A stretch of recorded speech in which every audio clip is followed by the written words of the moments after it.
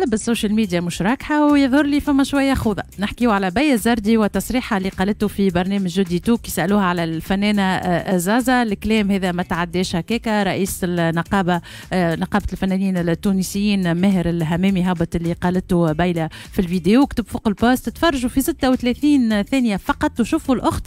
ما نعرفش كيفاش نقدمها الإعلامية أو الممثلة أو المغنية بيا الزردي شوفوا التصرف نتاعها وقلة الاحترام للفنانة زازا. وكتب فيما يخص التدوين نتاعو من موقعي كنقيب وواجبي ندافع على أي فنان آه، يتمس بالخير. إني باش نقفلك وهاني باش نقفلك وقفة صحيحة ونوقفك عند حدك والأيام بيننا طالب القناة والبرنامج وبيا بالاعتذار من زازا. بيا ما كانتش يعني من العاكسين وكتبت على الانستغرام آه، كتبت وشنو حطت نعتذر لشكون اللي سبوا وشتموا ما اعتذروش وأنا نعتذر.